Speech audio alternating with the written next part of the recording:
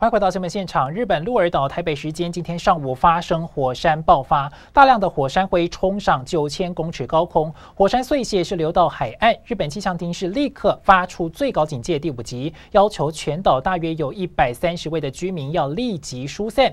鹿儿岛上的火山曾经有三十四年的休眠期，但是从去年八月份开始，又出现了火山喷发活动。